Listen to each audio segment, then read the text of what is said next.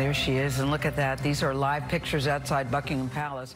We're all still processing it from Yeah. yesterday. James Corden is exactly who you actually I want to hear about exactly. or hear from uh, at a moment like this, and, and I think he puts it so well. He She did. did not air all of her Yes. opinions, and as a result, all of our hopes.